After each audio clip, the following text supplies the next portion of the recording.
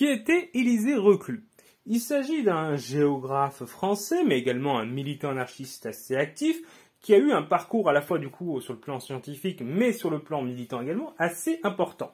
Sur le plan géographique, il est considéré quand même, quand même un des euh, fondateurs de la géographie moderne, un précurseur de nombreux domaines, notamment de la géopolitique, terme qui n'existait pas à son époque, mais qui, il a étudié de fait et qui, pour les spécialistes plus récents de la géopolitique, ben, il apparaît comme un fondateur.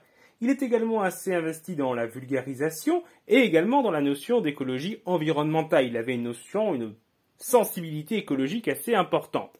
Mais si vous voulez en plus sur du coup Élisée Reclus en tant que géographe, ses travaux, les influences qu'il a pu exercer et son parcours de vie, nous avons fait une vidéo sur la chaîne YouTube Histoire d'apprendre, je vous mets le lien en description et je vous invite à aller la regarder. Au revoir tout le monde.